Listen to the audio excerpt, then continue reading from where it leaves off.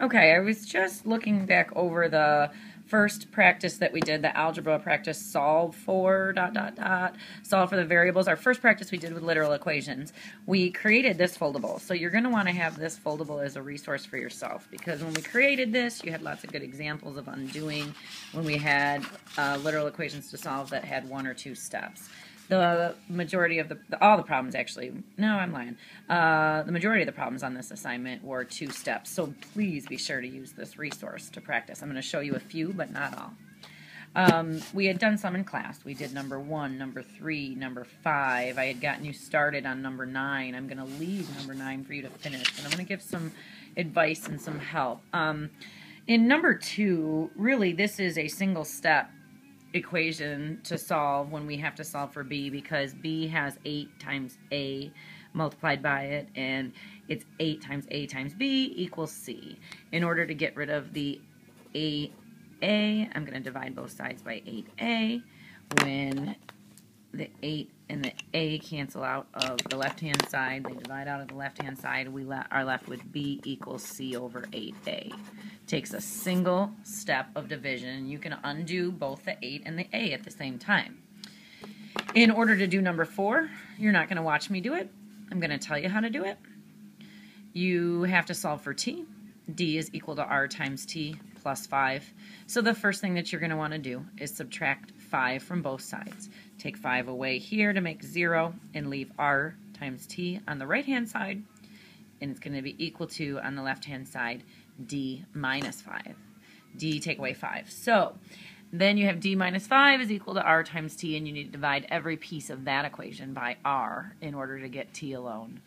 Every piece of that equation needs to be divided by r to get t alone and your r's should cancel out on the right hand side and leave you with what t is equal to. So t winds up on the right, everything else on the left. In number six, in order to solve for h, I want you to look back at how we solved number two. It is volume, it's actually v equals pi times r squared times h, volume of a, this is the volume of a pi r squared, volume of a cylinder. Um, what we're going to do, pi times r squared times h, we're going to divide both sides by the pi and the r squared to get it away from the h. In number 8, in order us, for us to solve for w, in a problem like this, um, I think we ran into one on the foldable. W is being subtracted. We've seen this before. W is being taken away. Um, so what I'm going to do is, because it's negative here, I'm going to move it. I'm going to add it to both sides because I just want to deal with W as a positive number and try to avoid any negatives if I can. We've been kind of practicing that skill. If I want to get W alone now, if I take S away from both sides, W is going to, S minus S is going to give me 0. W is going to be equal to R minus S. Um, number 10. Number 10 is uh, almost exactly like 2, 4, I'm sorry, 2 and 6. Look back at those. And a problem like number 7, I want you to think about, and we've had some more practice with some good algebra language and talking about things. But um, as we're solving systems um, using substitution, I think our algebra skills have just gotten better. What I want you to think about is how this quantity, we have to solve for p, and I want you to think about how that quantity in parentheses 1 plus the 0.01r is a whole group of things, and if you have to leave p alone, take that entire group and divide by it on both sides. I didn't know if this, I grab this yellow marker, do that over here, finish that problem with P equals, and you should have a good sized fraction over there. Think about what that might look like. Pause and do it if you need to. Um, on the backhand, on the side, on the back side of this, let's see. Um, I had written on that one with all the answers, and I want to give you all the answers right out of the gate. Uh, you know what? I'm okay with number 13 and 14 leaving you to try. Those are like example five in your foldable. But we've also done some work with solving for y and solving for x as we've used substitution as a method to solve systems. So I think with the experience you have, you should be all right with those. Um, you can look back at our solving systems notes to find equations like that.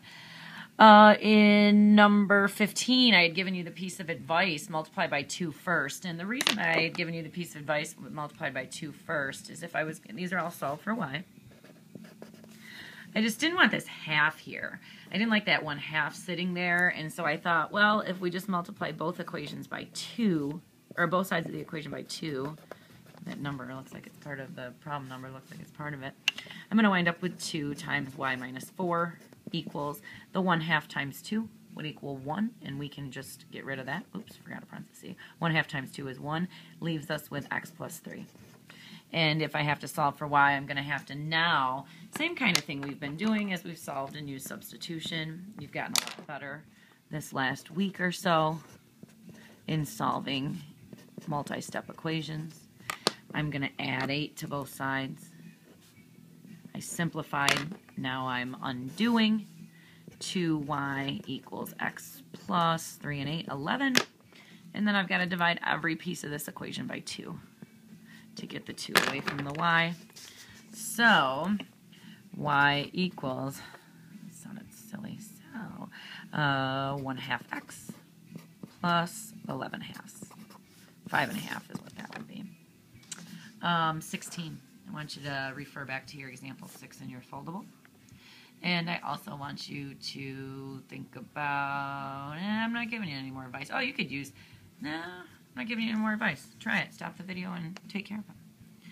In number 17, number 17, we have a formula for, um, we have a formula for simple interest. I'm going to copy it down here. And let's see, I need to solve for t in this problem. p plus prt. The first thing that I'm going to have to do in order to solve for t in this problem. Hmm, I just had kind of an idea. Let's see. Changing my mind about the first thing. I'm going to undo a little bit of the distributive. I'm going to undo the distributive property. Watch what I've got going on here. p times 1 would give us p. Think about going backwards and p times rt would give us the PRT. So now, look, I just pulled, I just went backwards with distributive. P times 1 would give me P. P times RT would give me the PRT. I'm going to suggest this, and it's something to think about. We'll be running into this in our work with our algebra, is if I can divide P out of both sides, now I'm on to, I'm running into this problem, now I'm on to this. A over P equals 1 plus RT. I can subtract 1 from both sides. Oh, this just got complicated. I don't like that method. Nuts. Um, I don't really want to stop my video. I don't like that method. Sorry. Sorry. Erase it. Not starting over. Eight minutes in. Um, actually, you know what? I'm going to make up another one about this 17 and 18. Sorry about that. You get your eraser and look for my next video.